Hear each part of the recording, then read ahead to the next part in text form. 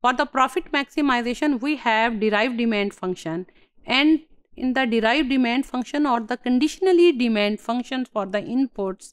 we have up till now studied that from that we can have the amounts of the inputs that are particularly required to have those type of the output or that amount of the output that will be sufficient to have a maximum level of the revenue या अगर हम कहें तो हम derive demand function के ज़रिए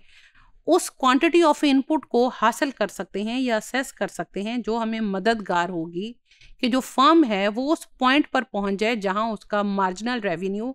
equal to marginal cost हो और वो ऑप्टिमली प्रोड्यूस कर रही हो।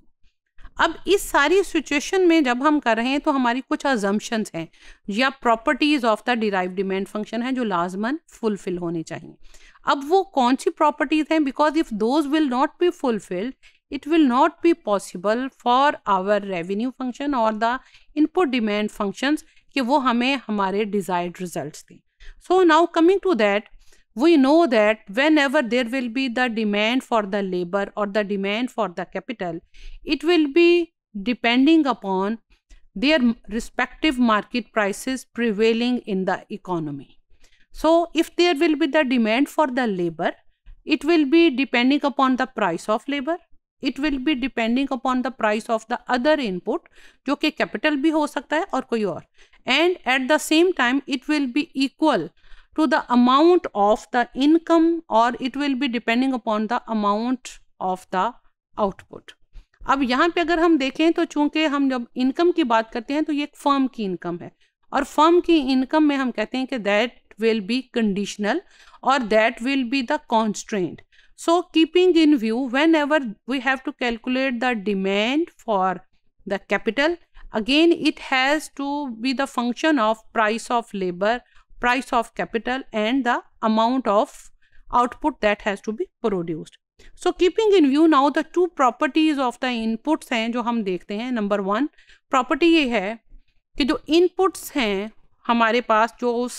मैक्सिमाइजिंग ऑफ़ द आउटपुट में यूटिलाइज होने they will be homogeneous of the degree zero and the second there should be no excess production now one by one we will explain this that why these two properties have to be followed precisely now we have to explain our these two properties और इन दो properties को explain करते हुए we have the demand function of our inputs so this input labor and this is input capital and their demand function is depending upon their respective prices WR and the amount of output. so, profit maximization में जब हमने inputs को इस्तेमाल करना होगा तो that profit it is equal to the revenue minus cost और अगर उसी फॉर्म में अगर हम जाएँ तो इस रेवेन्यू के लिए एक अमाउंट ऑफ़ आउटपुट वाई है। अब ये अमाउंट ऑफ़ आउटपुट को अगर हम देखें तो this can be like this that isoquant is there and this isoquant explain the amount of the output by a firm that is produced by two units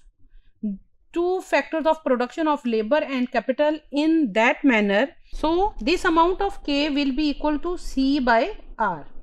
So when we have to calculate its slope of the cost line or the budget line, this will be equal to C by R divided by C by W. And in that it will be like this. And this W by R it will give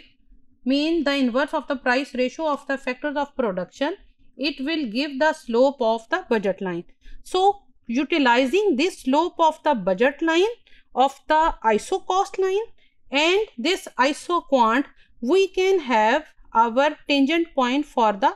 uh, where the equilibrium point for the production will be achieved. And then considering this, we can have the further inputs demand. And now coming to the next we can have this the optimal point जब भी होगा, जब ये दोनों slope जो है एक दूसरे के साथ इक्वेट करेंगे और उनकी प्राइस रेशो होगी। अब यही प्राइस रेशो जो है whenever we are going to change the prices mean prices of wages जो डब्ल्यू है, या प्राइसेस ऑफ़ कैपिटल जो हमारे पास आर की फॉर्म में है, जब भी हम इनको डबल कर रहे हों या ट्रिपल कर रहे होंगे तो because